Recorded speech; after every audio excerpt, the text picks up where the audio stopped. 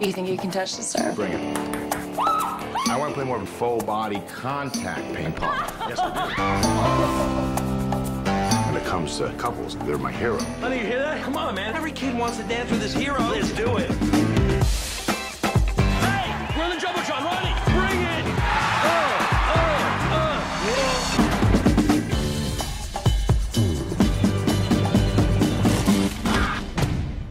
Just saw my best friend's wife with another man. You gotta tell him. That's guy code, man. Hello, do you ever hear the term kill the messenger? If you don't tell your best friend, then you're basically doing her too. And you just gotta go up and you gotta say it to him. Here's the deal. Here's the facts, Jack. Come here. Get in here. I love you. Why is that man hugging himself? Just keep walking. Now there was a time. Nick, I need to talk to you about something. I'm working. I don't have time for this. Okay.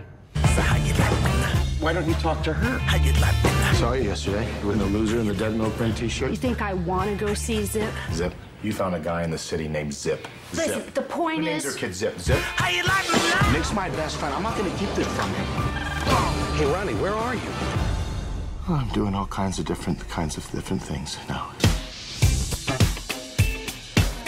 Jeez, Ronnie. What happened to your face? Oh, I just had this bar fight. A bar fight. Let's get a good show, huh? Yeah. I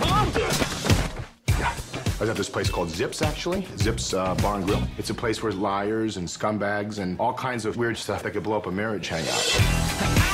But I'm trying to fix this. Oh, Ronnie, you're breaking more stuff. Oh, God. Zip, what, you're gonna shoot? I'm, I'm right here on your stupid little prison for that. If you're inside the house. No, I Googled it. Come on, go inside the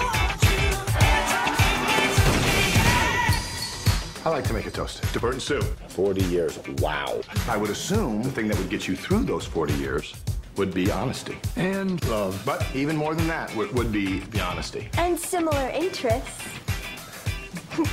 Who are you? Cousin Betty, Are you first? second. Okay. Cousin Betty, your second cousin, which isn't even a real relative because someone could have sex with a second cousin and the kid could still be normal. I'm gonna hit my point one more time, and that's honesty. The truth will find you. Am I right?